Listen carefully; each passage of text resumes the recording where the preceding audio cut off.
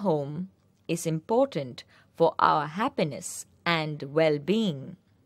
We use a broom for sweeping the floor and a dustpan for collecting the dust.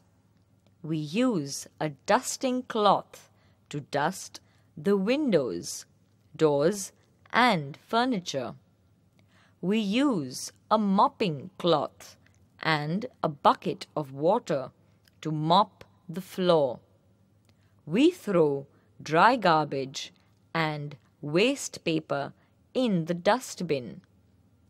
We throw the wet kitchen waste in the garbage can.